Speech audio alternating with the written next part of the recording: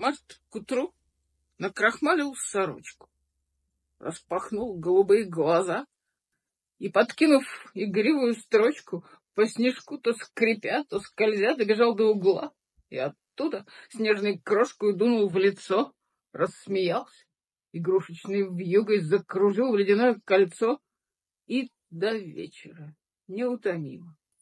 То подмигивал тонким лучом, то искрился в улыбках любимых, то укутывал серым плащом, а потом в лунном бархатном свете, в чуть небрежно распахнутом фраке, он нам Баха играл на кларнете. И вздыхали снежинки о.